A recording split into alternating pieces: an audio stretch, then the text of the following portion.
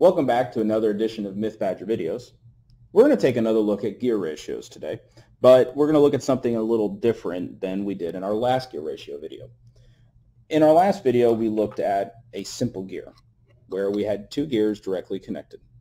This makes it real easy to understand how gear ratios work because you only have these two to work with. So that's going to be a little different than what we've got here. In this system, what we've got is a compound gear system. We have two 84 tooth gears here, but they're on opposite sides of our system. They're not directly connected. So you may be asking yourself, how do we get these two to be connected in a gear system if they're on opposite sides of the object? And the magic is what's going on on the inside. So let's rotate this. Now, if I move this a little bit closer so you can see, we have a lot going on here. We have an 84 tooth gear on either side, and then we have a bunch of gears on the inside. We actually only have one, two, three, four drive shafts here, but we have eight total gears in the system. In the inside, we have 12 and 36 tooth gears stacked next to each other through the entire system. And that's where we get the magic for a compound system. This 84 tooth is directly connected to that 12 tooth. And since the axles are square and the hole on the gear is square, as we can see there, that means that these two move at a one-to-one -one gear ratio. One turn here results in one turn there. In fact, we can kind of see that if you were to slow it down. Let's, let's look, actually, if we look right here at the set screw on the locking collar, and if I rotate once, you can see it only came around once, okay? So one to one here. But when we come down to there, we're on a different drive shaft. So there's actually going to be a, a gear ratio other than one to one at this point.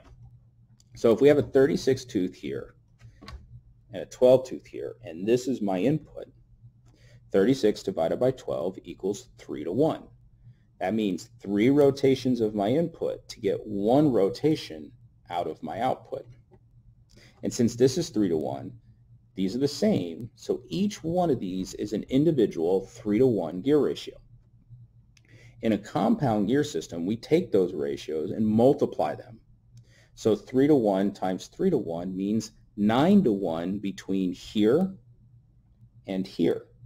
So 9 rotations here to get one turn out of that gear. We multiply again by 3 to get 27 down there. So one turn here, 27 turns here to get one turn out of this gear. Since this is connected to the other 84 tooth, they're at a 1 to 1 ratio. So 27 turns here to get one turn out of this gear. We can kind of see that if we look here. So let's let's rotate so that this is straight up or this is as close to straight up as we can get. Okay, and then what we're going to do is we're going to we're going to try and rotate that back around a bit. And there's a little bit of wiggle, so we're going to do the best we can. And what I want to do is I want to see how many times it takes to get that to go around once. And if you really wanted to, you can slow this down and you'd be able to watch my hand here so you can follow along and count. So let's do this. So I'm just going to keep turning this, and if you were to slow this down and count how many times it takes, you will see my hand turning a lot. You should be able to count 27 rotations of my hand in order to get this all the way around. Now, why might we need to do this? Well, considering our gear ratio, I'm putting in very little torque here. This is really, really, really easy to turn. But I'm also not getting much speed out of that. Okay? So I'm moving this one fast and that one's moving slow. And if this is slower, that means the torque is drastically increased.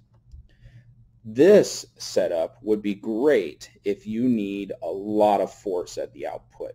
Let's say you're building a device where there's a lot of weight involved or this needs to lift something heavy. Well, you want the torque on the outside, uh, the end or the output because it'll make that lifting much easier. So um, when doing this, we would might attach a motor here so that we don't tire out. And this moves really fast, but we get a lot of torque there. But I can also flip this around. Now, if I want this one to move, here's my output, here's my input, and this might be a bit easier to see when I rotate there. Notice I'm having to grip it like this. I found that when using the handle, this becomes really hard to turn. Um, so sometimes I find myself doing it this way, but we'll use the handle just because um, it's a little smoother for what we're to do. Now I'm going to turn this one time.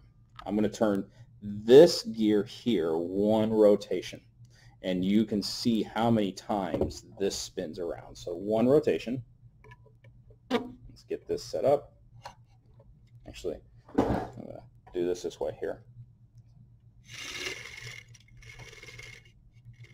I went past it a little bit. Okay, so let's do that again. That's one rotation, and we can see that that thing went very far. Okay, so this is great if you want to get a lot of speed out of the system, but we're getting a lot of speed here at the output which means the speed here is much slower. And since the speed here is slower, I have to put a lot more torque into turning this, and I get very little torque at the output. So that makes this one much harder to turn than that one. And that's an important aspect to the gear ratios. So when you want to do a compound gear ratio, you have to think very carefully. If you're going to gear this for speed, you're going to want something to help you turn this one because it's going to be harder and harder to turn the greater that gear ratio is. You also probably want to use some more reinforced equipment instead of some of this plastic that we've got. Um, I've got some gears that are thicker. They're a little bit more higher strength gears. So this is a compound gear system, which means we have a compound gear ratio the compound gear ratio is calculated by taking each individual gear ratio and multiplying to find out the final gear ratio.